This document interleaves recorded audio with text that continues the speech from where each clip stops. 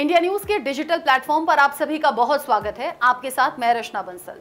खालिस्तान को पनाह देने वाले कनाडा को आज उसी के साथ विश्वासघात करते हुए देखा जा रहा है। कनाडाई पीएम जस्टिन ट्रूडो ने एक नया फरमान जारी कर दिया है, जिसके बाद से वहाँ रह रहे सिखों को तगड़ा झटका लगा है।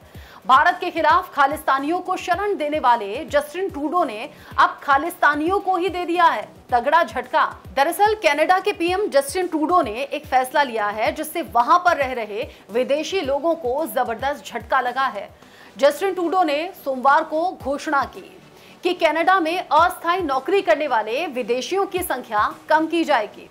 आपको बता दें कि कनाडा में लगभग 20 लाख भारतीय रहते हैं, जिसमें ज़्यादातर सिख लोग रहते हैं। कनाडा शुरू से ही कट्टरपंथी सिख खालिस्तानियों का समर्थन करता रहा है और भारत के खिलाफ जहर उगलता रहा है।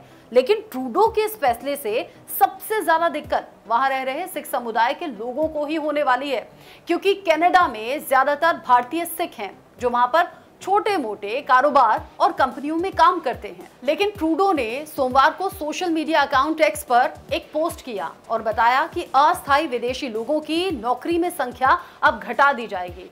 और उसके मुताबिक जो कनाडा में रहने वाले लोग हैं, यानी कि जो कनाडाई हैं, उन्हें ज़्यादा तवज्जो दी जाएगी। इस फैसले के बाद से खालिस्तानियों को मानो सांप सूंघ गया है, जो अपने आप को सिखों का हितैषी बताते फिरते थे।